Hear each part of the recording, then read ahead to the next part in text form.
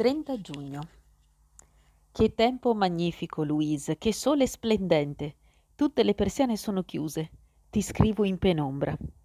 Così Flaubert a Louise Collet. Mi ci sono imbattuto oggi e malgrado la tua stoccatina, davvero faccio sempre delle citazioni, ho visto in quella frase un nostro segno di riconoscimento. Negli ultimi due giorni ho pensato spesso alla tua proposta la tua strana richiesta di propormi a te, bambina, come fidanzato con decine d'anni di ritardo. Mi hai costretto a tornare con la memoria a un periodo che non ho amato molto. Non sono nemmeno sicuro di avere trovato la storia che potrebbe fare coppia con la tua, di certo non con la ragazza che eri, disillusa e lucida, capace di prendere una decisione e di metterla in atto, così mi sembra, con determinazione e senza ripensamenti. A essere sinceri, Miriam, non sono sicuro che la ragazza che eri avrebbe voluto quel bambino come fidanzato. Avevo tredici anni, più o meno, ma non starò a descriverti il mio aspetto d'allora, ti irriterebbe. E perché dovrei sfidare forze più grandi delle mie? Probabilmente però suscitavo un certo interesse perché un'adolescente anticappata del mio quartiere mi rapì e mi sottopose a un intervento chirurgico senza anestesia. Ora dirai che, come al solito, descrivo tutto in maniera drammatica ed esagerata, ma è esattamente quello che accadde. Non so quanti anni avesse, non era nemmeno in grado di parlare, mugolava, una ragazza ossuta, mascolina, rigida, una povera anticappata che io prendevo in giro, tendendo agguati a lei e a suo padre, che l'accompagnava nella passeggiata quotidiana. Lui camminava con un bastone per difendersi da lei nel caso l'avesse attaccato, pensa un po'. Per qualche anno nel quartiere avevo condotto una campagna di derisione nei suoi confronti, inventando le cose più feroci per tormentare lei e il suo povero papà, scritte in gesso sul marciapiede, caricature. Giustamente mi chiederai, perché la prendevi in giro? Perché la mia mente spaventata si sforzava di puntare l'attenzione di tutti su di lei e solo su di lei? Come potevo ridere di una povera minorata? E quanto sarcasmo e veleno investivo in quegli sforzi? Meglio lasciar perdere. Insomma, un giorno lei riuscì a scappare di casa. Suo padre svenne sulle scale e tutti i vicini e i bambini del circondario si mobilitarono per cercarla. Arrivò la polizia e ci fu un gran casino. Io mi allontanai in silenzio da tutti e andai in fondo alla via, in una spianata dove oggi sorge un grande albergo. Lì, in uno degli angoli più squallidi, c'era un mucchio di rottami accumulati negli anni, vecchi materassi, fornelli, un frigorifero scassato. Insomma, tutto il ciarpame e le schifezze del quartiere. Dietro la discarica, vicino alla recinzione, c'era una siepe in cui si era formato un nascondiglio, piccolo e buio, che pensavo di essere l'unico a conoscere e dove mi piaceva appartarmi. Avevo la sensazione che si fosse recata lì, che il suo istinto animale l'avrebbe condotta in quel posto, dove nessuna persona normale sarebbe mai entrata. Infatti, quando valicai la linea della penombra, lei si gettò su di me e in quel momento capì con una sorta di strana rassegnazione che mi stava aspettando. Sai, non ricordo quando tu mi abbia chiesto, forse parlando del parafulmine, se in vita mia ho mai gridato aiuto sul serio, a squarciagola, cioè con la gola che ti si lacera e gli occhi strabuzzati per la disperazione e lo sgomento. Eh, perché poi me l'hai chiesto? Forse quella volta, quando lei mi trascinò nel nascondiglio, avrei dovuto urlare così. E invece rimasi zitto. Questa è la storia, Miriam. Lei mi buttò a terra, si stese su di me e senza perdere un secondo, con una forza tremenda, cominciò a strusciare il suo corpo contro il mio, come se fossimo due pietre focaie. Non potevo muovermi, era come se avessi perso conoscenza. Però vidi e sentii tutto. Lei era seria e come presa da una folle idea che le palpitava dentro. Un'idea assurda che io solo al mondo potevo capire esattamente.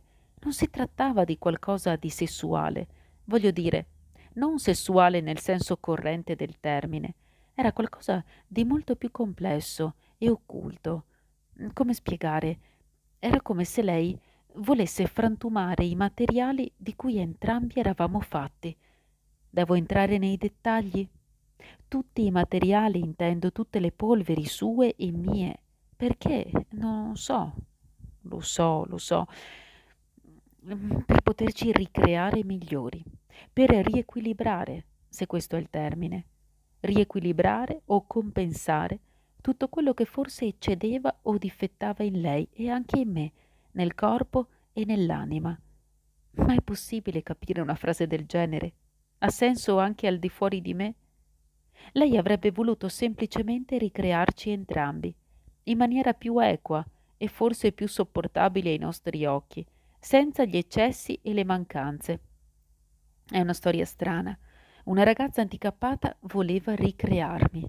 Ti giuro, era questa l'idea fissa che frullava nella sua mente contorta. Solo io l'avevo capito e per questo non gridai aiuto. Era una cosa tra me e lei e non riesco a credere che te lo stia raccontando. Che ne dici? Quel bambino avrebbe potuto essere a modo suo un fidanzatino per la ragazza che eri, filosofica e istruita? Ricordo che lei prese la mia mano sinistra e che per dieci, venti, cinquanta volte spinse le sue dita ruvide tra le mie. Quindi fece lo stesso con la mano destra, poi spalla contro spalla, petto contro petto, ventre contro ventre, sistematicamente, con puntiglio, mentre i suoi occhi spenti brillavano per quell'idea grandiosa, senza badare a me. Quella fu la cosa incredibile che mi ipnotizzò completamente. Aveva una questione da risolvere, ma non con me, bensì con quello che rappresentavo. Nel mondo illuminato non avrebbe avuto alcuna logica, ma nel buio sapevo e sentivo, chissà perché, che lei desiderava anche il mio bene come se cercasse di mescolare con cura le carte dei nostri mazzi per ridistribuirle in maniera più giusta per entrambi. Capisci? Lei sola aveva intuito, con i suoi sensi genio-animaleschi, quanto soffrissi per ciò che mi aveva riservato la lotteria della vita e quanto, anche in me, tutto avesse disperatamente bisogno di restauro. Riesci ancora a seguirmi, Miriam? Dimmi solo se è possibile raccontare una cosa del genere a qualcuno e sperare che capisca davvero. Dimmi se un uomo può raccontare questo a una donna che sta corteggiando o se un marito può raccontarlo alla moglie mentre prendono il caffè. 5 luglio. Sono andato, ho comprato, sono tornato. Una cappatina di tre giorni ad Amsterdam, Parigi, Svizzera. Affari. Un buon acquisto di due pezzi rari, richiestissimi a Zurigo. Uomo di mondo, bon bon. Quando l'aereo è decollato ho provato una fitta inaspettata e ho scoperto che tra me e te c'è un cordone ombelicale che fa male quando viene teso. Cosa ti ho portato dalla spumeggiante Parigi? Un profumo che fa perdere la testa? Un gioiello? Degli slip sexy? Il mio incubo quando mi trovo nelle grandi città europee sono i figli delle mendicanti. Sai di cosa sto parlando? Di quelle donne indiane o turche sedute per strada o nelle stazioni della metropolitana, che hanno sempre un neonato o un bambino sulle ginocchia. Già da un po' ho notato che quasi sempre i bambini dormono. A Londra, a Berlino, a Roma. Ho il sospetto che le madri li anestetizzino di proposito, li droghino, perché un bambino addormentato fa ancora più pena e aiuta gli affari. A Parigi, di fronte al mio solito albergo, c'era una donna turca con un neonato e il giorno dopo ho cambiato albergo. Non è solo la crudeltà a deprimermi, ma l'idea che quei bambini passino la loro vita dormendo.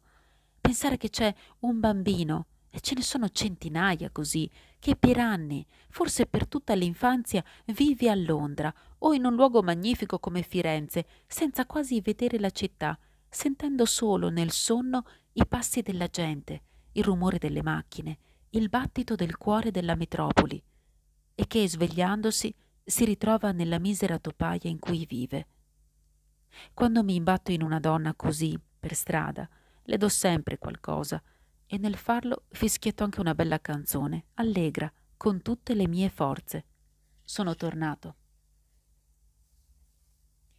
7 luglio. Buongiorno.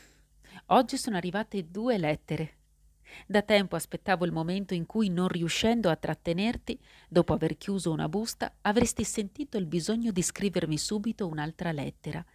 La prima è arrivata questa mattina, l'altra con la posta del pomeriggio, i piaceri dell'intestatario di una casella postale, e sono entrambe allegre ed entusiaste.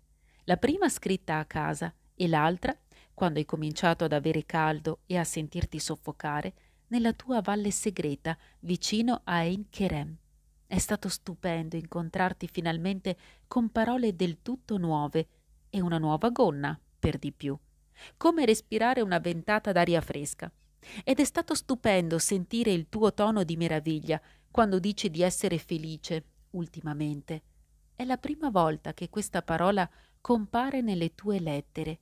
L'ho subito mandata ad analizzare in laboratorio e mi hanno confermato che si tratta proprio di felicità.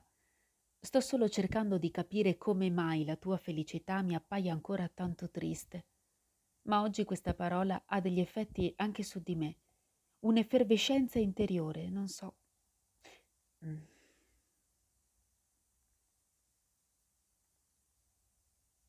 Un'effervescenza interiore, non so. Forse perché sono finalmente riuscito a rallegrarti perché grazie a questo improvvisamente l'estate è esplosa anche per me, capisci? Come se solo ora, in virtù del tuo apriti sesamo, fossi uscito anch'io dalla galleria scura e tortuosa che abbiamo scavato insieme, con le nostre complicazioni e il senso di oppressione. Sono felice, hai detto, ed è stato come se tu mi avessi concesso qualcosa. La bella stagione è iniziata anche per me. Già luglio, Immaginati un po', e solo ora mi risveglio all'estate accecante, con le sue forze vitali, la sua volgarità naturale, la sua voglia di vivere e tutto quello che hai descritto. Mi sorprende che tu abbia ancora paura di tornare a dipingere con i colori. Una persona che scrive così. Anch'io, toccami. Di colpo sono così vivo, ardente. Mi amalgamo con il corpo dell'estate come se fossi una delle sue arterie pulsanti, ma sono anche puntato su di te, come un laser. Attenta, non sono responsabile delle mie azioni, non so cosa mi stia succedendo. Hai qualche idea? Cosa ne dici? Magari smetterò di lavorare e di vivere nel mondo, nella cosiddetta vita, per limitarmi a scrivere, a descrivere te in ogni situazione e a raccontare come mi sento mentre ti guardo a riversarmi dentro di te, finché semplicemente i miei succhi si esauriranno. Quando impiccano un uomo, nell'istante supremo, ha un'eiaculazione. L'ho letto una volta, ed allora questa cosa non mi dà pace, quasi fosse il testamento del corpo e dell'anima. Esattamente così vorrei che fosse il dialogo tra noi, perché tra qualche mese moriremo l'uno per l'altra, anche se tu non ne vuoi sentir parlare. L'idea di quella ghigliottina ti fa rivoltare lo stomaco. Ai miei occhi, però, è il fulcro del nostro legame, perché forse nella vita di una coppia normale non può accadere quello che accade tra noi, qualcosa che al tempo stesso ha il sapore dell'ambrosia e del sangue. Tu già lo senti. Io lo sapevo fin dall'inizio. Pensavo che la storia della ragazza anticappata ti avrebbe disgustato e invece tu, come al solito, vieni e mi tocchi a mani nude. E allora? Davvero non vorresti ridistribuire le nostre carte? Davvero ad attrarti sono le mie carte mescolate alla rinfusa? Ma solo per iscritto. Lascia che rimanga così, con la speranza di avere entrambi la forza di combattere ancora le seduzioni della realtà. Il sesso, non la religione, è l'oppio dei popoli e quando ci incontreremo, perché alla fine ci arrenderemo, sono un po' fragile oggi. Il caldo scioglie i propositi più fermi. Spero che non accada, ma forse tra due o tre settimane, se non già stasera, in questo accesso feroce che mi sta facendo perdere la testa, È colpa della gonna che hai comprato. Improvvisamente hai un corpo. Il tuo corpo, che ero quasi riuscito a dimenticare, d'un tratto è risorto davanti a me. Le tue gambe si sono mosse, giovani e belle, sotto la gonna, e non dire nemmeno per scherzo, non sapevo di avere delle gambe. Mi sono tornate in mente le tue caviglie affusolate e ho afferrato il nesso tra la forma delle caviglie e la nuca. Ci arrenderemo, ti è chiaro, vero? Quando nel cuore si sarà accumulata una dolcezza triste, pastosa e pesante, nettare d'autunno. Yair si è fatto poetico, è il nettare dell'estate.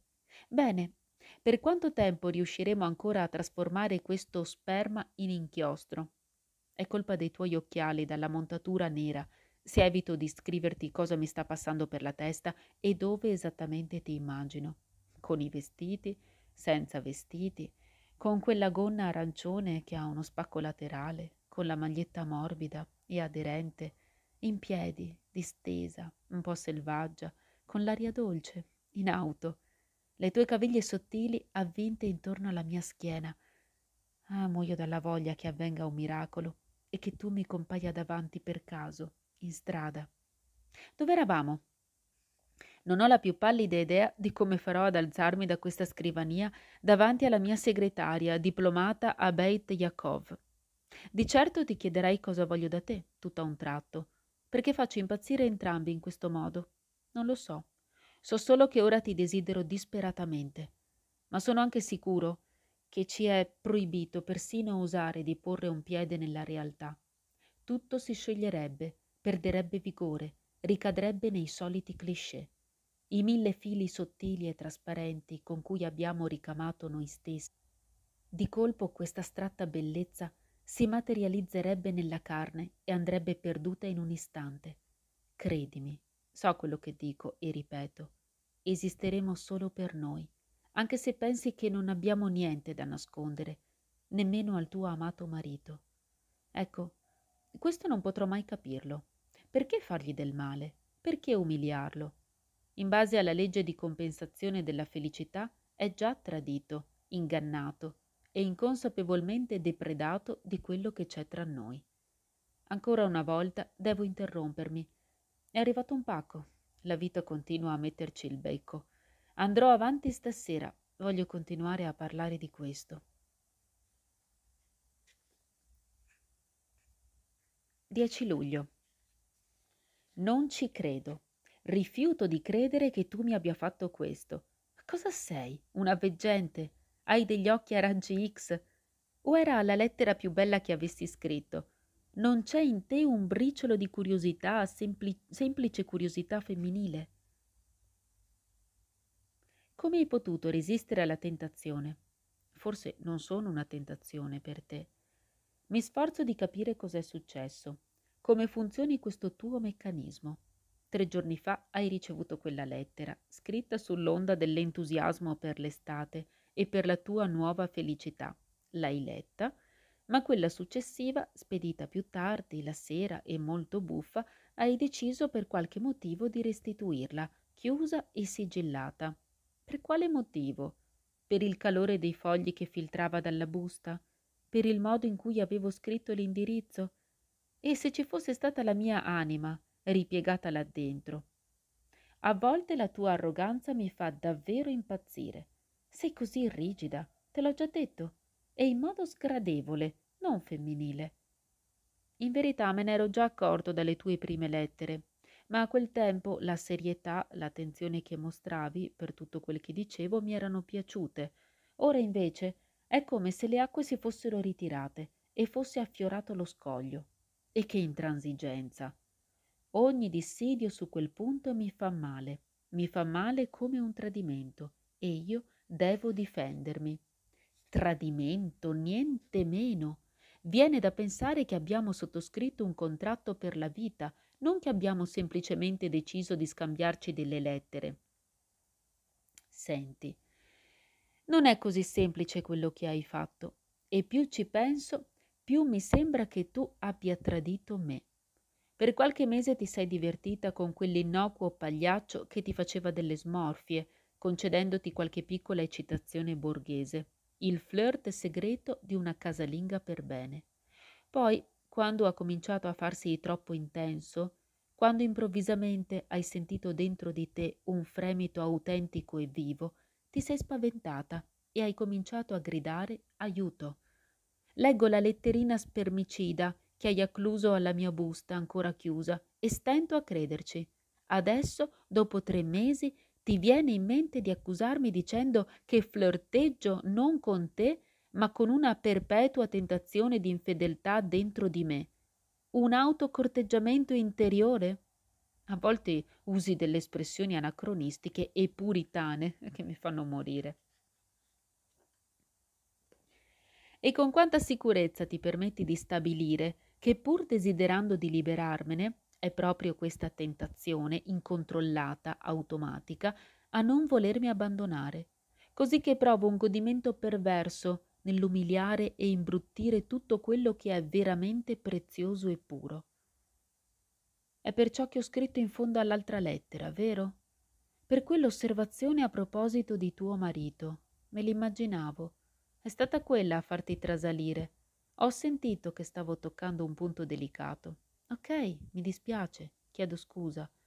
Prendi atto di una confessione. Non è umiliato tuo marito, né tradito depredato o ferito in virtù della legge di compensazione della felicità. Ecco, lo sottoscrivo con la mia impronta da criminale. Certo, che ne so di lui e che ne so di voi due insieme. Hai ragione, hai sempre ragione, Miriam. Che ne so dei rapporti non solo improntati alle leggi di guerra e di conquista dell'anima altrui, basati su altro che il gusto di sottomettere o di arrendersi. Ma cosa ne sai tu di cavalli alati, di sirene e dell'unicorno? No, lo devo sentire da te. Che ti importa di incontrare questo Don Giovanni dilettante? Non è una delle carte mescolate alla rinfusa? Non ha bisogno di misericordia o di restauro? A volte penso che forse avresti dovuto incontrare solo lui. Forse lui sarebbe stato in grado di farti morire dalle risate e dal piacere, di fare a pezzi questa tua intransigenza.